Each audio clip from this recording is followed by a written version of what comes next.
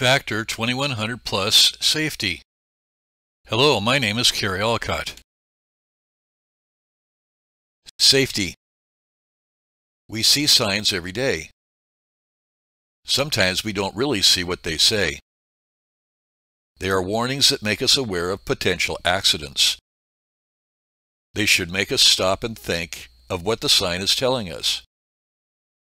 We should read and look around for what the sign is referring to.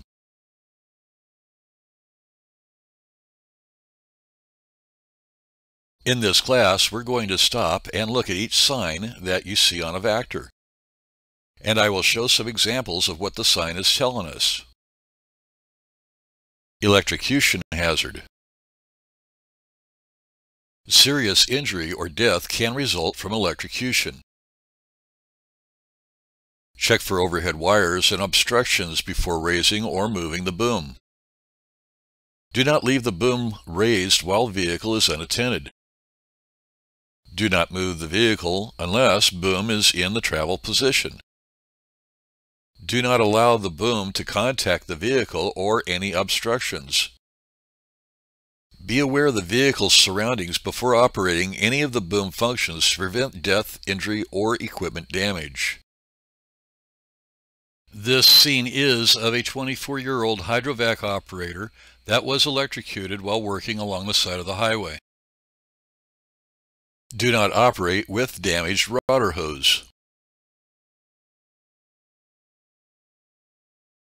Do not operate jet rotor with damaged hose or rotor hose that is not authorized by Vactor Manufacturing Incorporated. Serious injury or death can result from rotor hose or fittings failing. Frequently inspect hose and fittings. Install fittings properly. This is not a proper repair. Heater hose clamps are designed to only hold 15 pounds of pressure, not 2,500. Repair the hose if you see these types of damage. Hose burst. Cover damage. Blisters or bubbles. Kinking or collapse. Warning, loose hose and nozzle.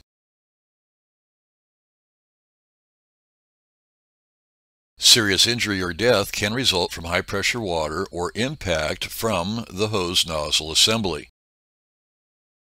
Use rigid support guard of proper length.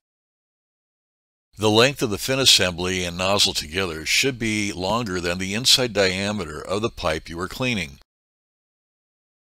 This is to prevent the nozzle from going up a lateral or doing a U-turn and coming out of the manhole at you. Nozzle support guard types. A fin. Heavy duty fin. Tube extension. Football. Proofer. Here is an example of not using some type of nozzle support guard or fin assembly. High pressure water.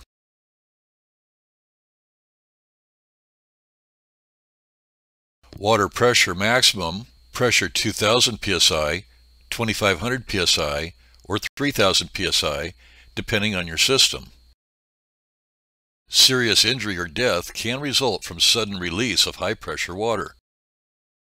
The hose end and the water discharge direction may become uncontrolled.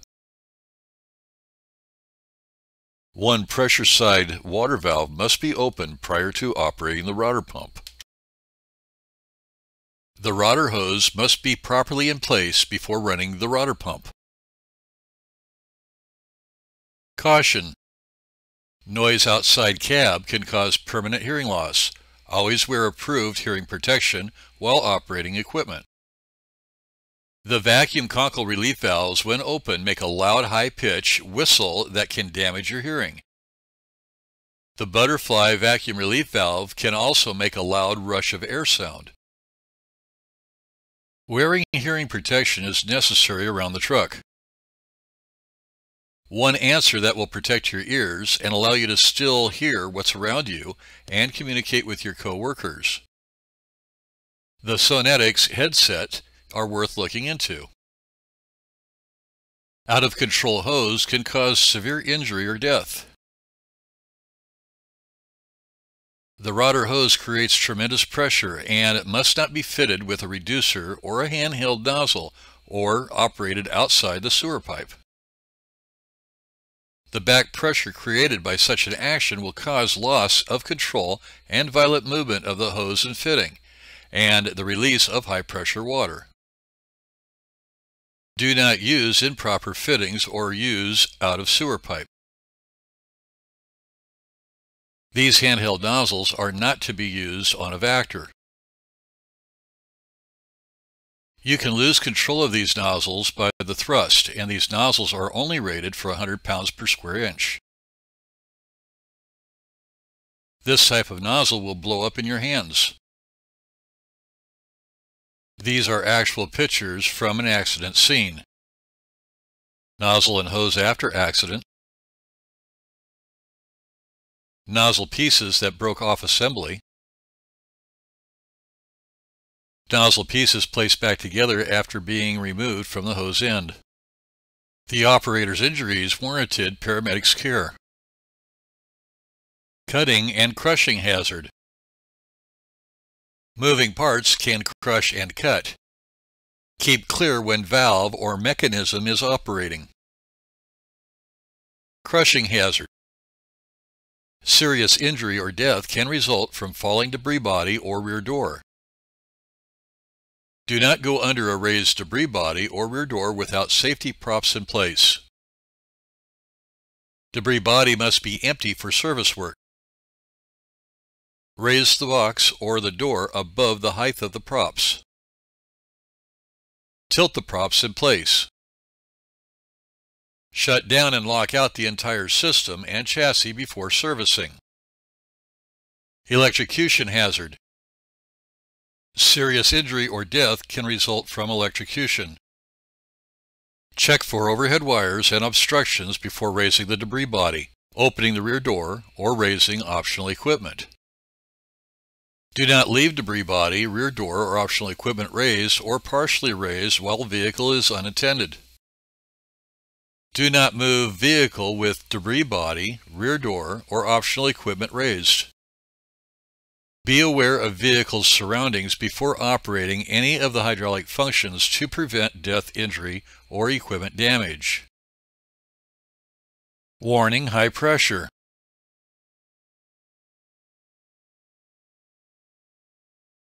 Operating tool outside a sewer line may result in serious injury or death. Sewer maintenance tools operate at high pressure. Positioning tool 2 feet into the sewer line before operating. Build pressure slowly to ensure the tool is positioned correctly. Turn off pressure source before removing the tool from the sewer line. Vacuum hazard. Cutting, crushing, suffocation, and body rupture from forces of vacuum could result in serious injury or death. Stay clear of the suction hose inlet end. Turn vacuum off before attaching hose, pipe, or accessories. Keep suction hose inlet end near ground when vacuum is operating. Rupture. Keep vacuum tools and hoses away from face and body. Concentrated vacuum on the body, such as through a hose end in full contact, can result in pulling of organs outside the body or the avulsion of limbs. An avulsion is an injury in which a body structure is forcibly detached from its normal point of insertion by either trauma or surgery. The flesh can be torn off of bone by suction force. Suffocation. Keep vacuum tools and hoses away from face and body. Serious injury or death will result from vacuum suffocation. Crushing and cutting. Never attach hose, pipe, and accessories with vacuum on. Forces from the vacuum can trap fingers, hands, and feet in the joint with enough force and impact to crush and cut. Material flow in the system will increase the severity of the injury by physical damage and contamination to the wound. Protective action. Use a hose end protector and a hose end with a handle which keeps the operator's arms a slight distance from the end of the hose. An inline vacuum relief must always be used when operating near the end of a hose or pipe. Vacuum injury. Seek medical attention immediately, never delay. Tell the physician of the cause of the injury. Tell the physician of what type of material was being vacuumed at the time of the accident as the material may have entered the wound. Caution, driveline can be damaged. Open vacuum relief valve. Lowering engine RPM to idle before turning off throttle or engaging or disengaging blower. Failure to open the vacuum relief valve and lower engine RPMs to idle before turning throttle off or engaging, disengaging blower may result in serious engine, transmission, or blower damage. Warning, explosion and fire hazard. To avoid serious injury or death, never use air movers to move hydrocarbons or other materials with a flash point below 140 degrees Fahrenheit. Vacuuming or pumping or pressurized offloading is not permitted unless the flash point of material is 140 degrees or higher. Information decals. Rotor pump information maximum flow and pressure this Vactor is designed to do. Rotor hose information on what type of hose the Vactor was designed to use. Blower sight glass location on the blower for a daily inspection of proper oil level. Don't be a blockhead. Chalking and blocking prevents serious injury caused by runaway vehicle, shifting cargo, and accidentally activated machinery. If you drive a truck, tractor, or other mobile equipment, use special caution when exiting the vehicle. Ensure that the brakes are set, the vehicle is at a complete standstill, and that it will not roll forward or backwards before you exit. If you are performing maintenance or parking the vehicle for an extended period of time, chalk the wheels. The above evaluations and or recommendations are for general guidance only and should not be relied upon for legal compliance purposes. They are based solely on the information provided to us and relate only to those conditions specifically discussed. We do not make any warranty, express or implied, that your workplace is safe or healthy or that it complies with all laws, regulations, or standards.